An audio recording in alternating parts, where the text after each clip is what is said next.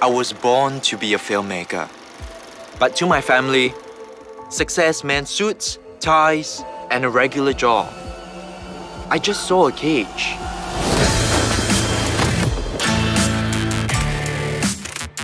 So I wrote my own story.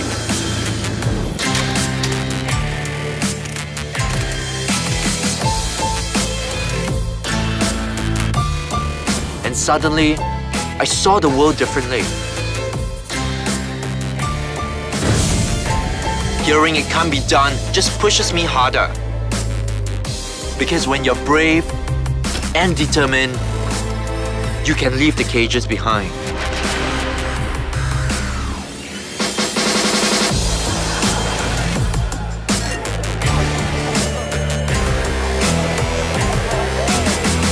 I'm Cage.